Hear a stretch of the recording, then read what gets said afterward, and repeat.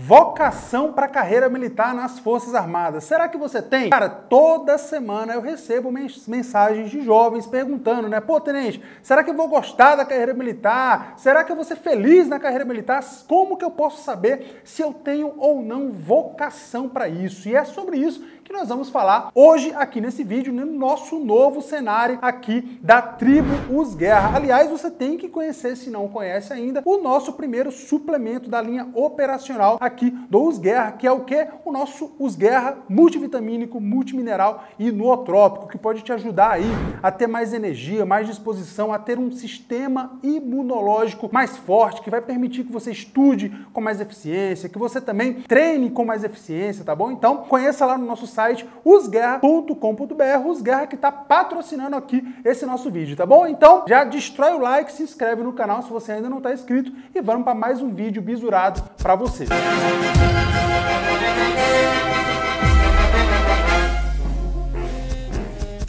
Então vamos lá, guerreiro. Como que você pode saber se você tem ou não vocação para ser militar? Eu tenho aqui duas notícias para te dar, tá bom? Uma boa e uma ruim. Vamos primeiro para a notícia boa, que é o seguinte, cara, dentro das Forças Armadas, até se a gente for falar só do Exército, dentro do Exército tem um monte de atividades, um monte de especialidades, um monte de curso, de estágio, de locais que você pode servir, tem um monte de coisa que você pode fazer. Ou seja, tem vaga para todo mundo. A gente costuma falar, né, que tem vaga para o cara que quer ser super operacional, carregar mochila para missão, e tem vaga também para aquele cara que quer de repente trabalhar ali num expediente mais tranquilo, em algo mais administrativo. Então, tem vaga para todo mundo. E olha só que eu só estou falando aqui do exército. Se a gente for abrir ainda mais o leque para Força Aérea e também para Marinha, cara, tem muitas possibilidades. Então, isso é uma ótima notícia para você. Por quê? Porque você vai ter muitas opções para você se encontrar dentro das Forças Armadas, sendo um sargento,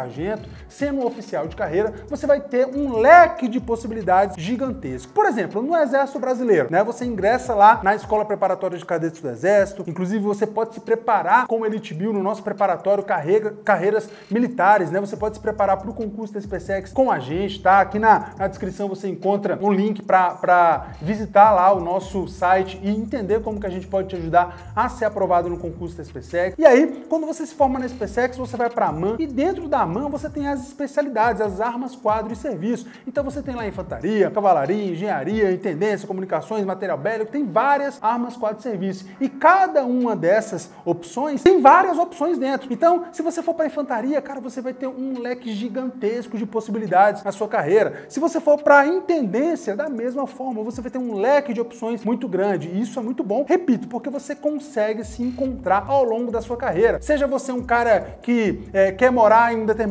local do país, né? Passar mais tempo em um local do país. Seja você um cara mais tranquilo, que não quer ser muito operacional, ou seja você é o cara faca na caveira mesmo que quer ser operacional, tá bom? Então, primeira coisa que eu quero que você entenda é isso. Você vai ter muitas possibilidades e isso é uma notícia muito bom para você, para você se encontrar e realmente ser feliz na sua profissão. E a segunda notícia que eu tenho para te dar não é uma notícia assim tão boa. Por quê? Porque você só vai saber, guerreiro, se você nasceu para isso, se você tem vocação para ser militar, quando você estiver lá dentro. Por mais que você ouça histórias, por mais que você veja vídeos, por mais que você veja fotos, documentários, mesmo que você seja filho de um militar, mesmo que você tenha passado a sua vida inteira estudando em colégio militar, é, indo para formaturas, mesmo assim, você só vai saber o que é ser militar quando você for militar. Você só vai ter 100% de certeza mesmo quando você estiver na formação. Então, quando eu estava lá na SpaceX, por exemplo, teve um cara, eu até conto isso no meu livro, né, no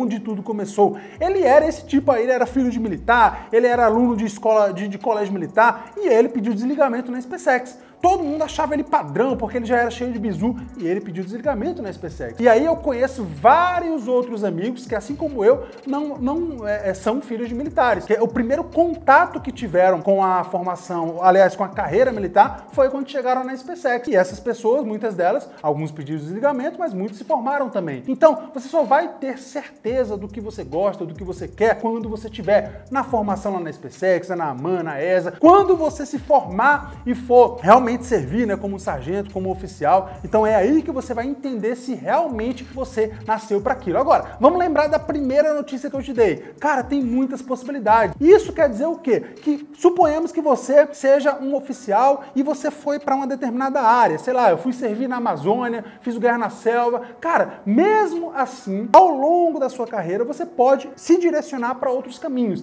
Você pode é, servir em outro local, você pode fazer um outro curso, se especializar em outra área. Então, ao longo da sua carreira, você tem essa possibilidade também. De repente, eu fui para uma área e eu pensei que eu ia ser feliz naquela área. Não fui.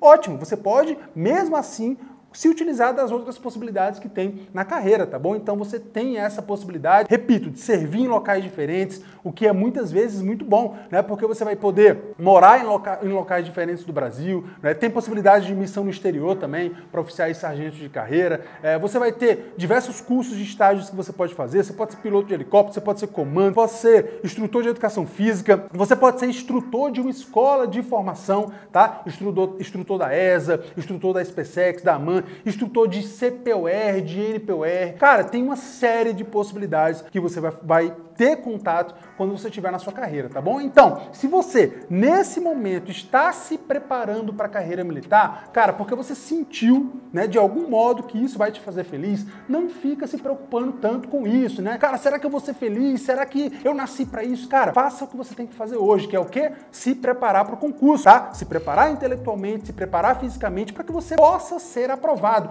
E ao longo, né, quando você entrar lá na sua formação, ao longo da sua formação, você vai poder experimentar isso que você está sonhando agora, tá? Lembrando, você só vai ter 100% de certeza quando você estiver lá. E outra coisa, ah, eu entrei na formação militar e eu não gostei, eu quero ir para uma faculdade. Não tem nada de errado com isso, né? Eu conheço várias pessoas aí que entraram na formação militar, pediram desligamento porque não se, não se identificaram lá dentro e hoje são bons profissionais aí em diversas áreas, tá bom? Então não é porque o cara pediu desligamento que ele é ruim, tá? É, tem outras pessoas que assim como eu, né, se formaram na AMAN, seguiram carreira como, como oficial ou como sargento e depois de um tempo decidiram ir para uma outra área, né? Eu por exemplo, hoje trabalho principalmente na área de educação, na área de treinamentos físicos também, agora com, com a, a Tribus Guerra. Ah, então, existem várias possibilidades na sua vida. Você é jovem, tenha calma, siga num caminho correto na sua vida, que é o quê? Que é estudar, se dedicar, ser um bom filho, tá? ser um bom cidadão, ler bons livros, ter boas referências e com certeza isso vai te colocar